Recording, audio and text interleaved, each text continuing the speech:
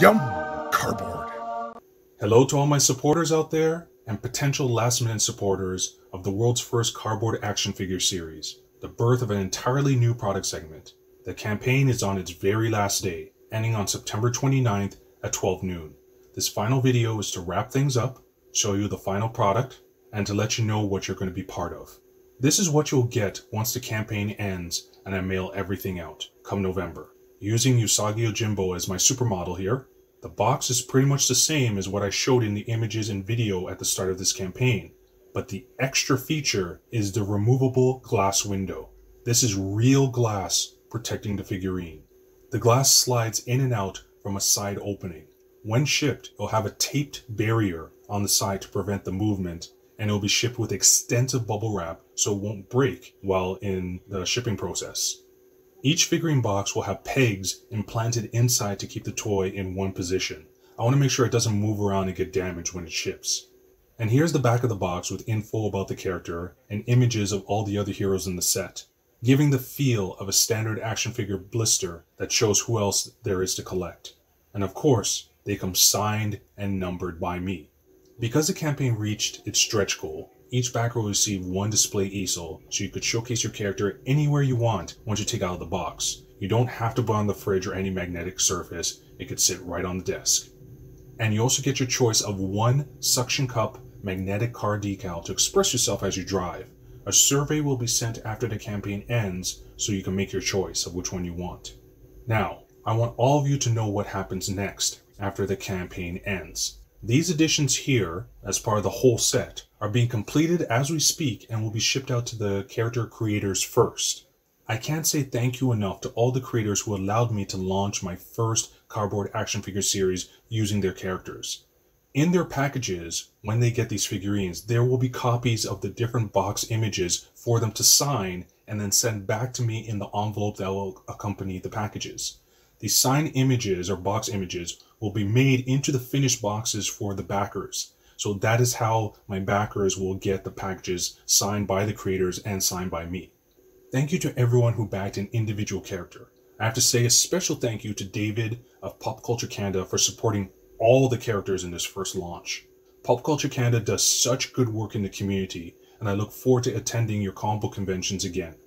Respect to Editable Polly for getting involved and supporting the bulk of these figurines. You are awesome, my friend, and you will love what you receive. Trust me on that. And Usagi Yojimbo fans, I have no words that could properly convey or describe your dedication to Stan Sakai's character and your support of this figurine. You immediately saw my Usagi Yojimbo figurine as a premium investment and a collectible, and I will do my best to get them signed for you. This is an uphill battle of introducing a new product category that's never existed before. For the month I've been running this campaign, I've been showered with compliments and praise by so many people. This campaign has gotten blog mentions and has been featured on podcasts. However, I've also heard from people who still can't get past the idea of quote unquote cardboard collectibles. They love the artistry and design and the work that I put into them. The general public understands comic books, the general public understands action figures, but comic book action figures made by hand out of cardboard is still very niche for many people. They don't get it, but you know what? I dig it. But I also believe fully that everything happens for a reason. Every new idea goes through this, and you respect those who see what others don't. This set will end and will never be reproduced, but this is the dawn of my handmade cardboard action figurines. I've just begun. During this campaign, I've been approached by seven other indie comic publishers to take their characters and make them into my toys. Plus, I've already started talking to four big name creators to make figurines based on their characters. They saw Nira X, Usagi Yojimbo, and Mr. Monster, those additions I made. They were impressed, and now we're discussing doing the same for their mainstream characters. Therefore, I'm looking to make a series 2 of this concept with brand new characters for either Christmas 2020 or for the Comic Con season in early next year. After this campaign is done, I'll be launching a completely separate handmade action figure series. It has nothing to do with comic books. And it will be somewhat controversial as hell, and the media will eat it up. And I will use that media attention to point back towards this first launch. I'm excited for what is to come, and for you, my supporters, you should be too. I am building a new brand and creating a new collectible product category from scratch.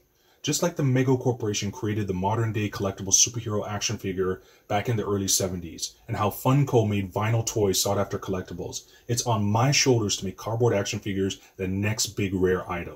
I know this is going to sound hyperbolic, perhaps even arrogant on my part, but all of my supporters for this Kickstarter campaign, you are part of comic book and toy history, and you will come to realize this and understand it in the years to come.